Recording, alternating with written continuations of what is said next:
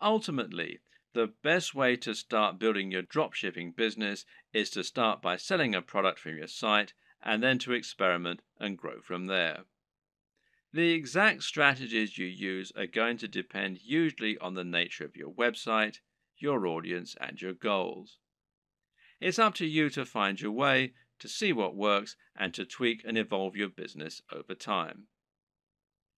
Hopefully, this video guide has given you all the tools you need to get started.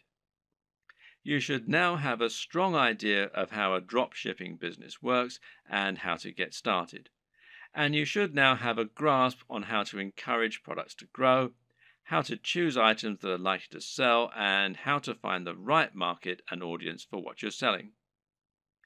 Once you begin selling physical products to your audience, you'll unlock the kinds of profits that you just can't get as an affiliate, and all without taking any significant risks or spending much money at all.